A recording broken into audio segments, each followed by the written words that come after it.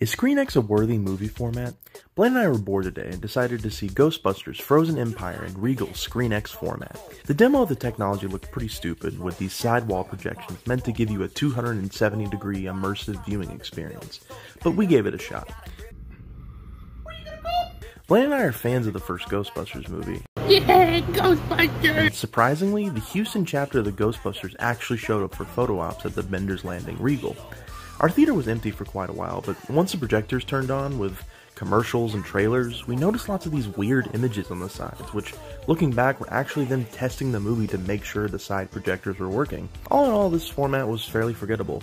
The walls were constantly being turned off all throughout the movie, making the effect pointless compared to 4DX or RPX. And even when the side screens were on, they had such a low resolution and frame rate, they became more of a distraction than aiding the immersive quality of the film.